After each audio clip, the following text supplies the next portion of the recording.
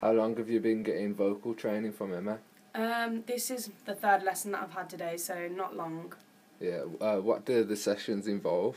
Um, a lot of different.